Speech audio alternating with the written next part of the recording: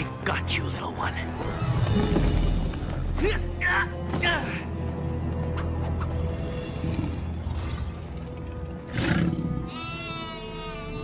Be brave. He has to go through me first.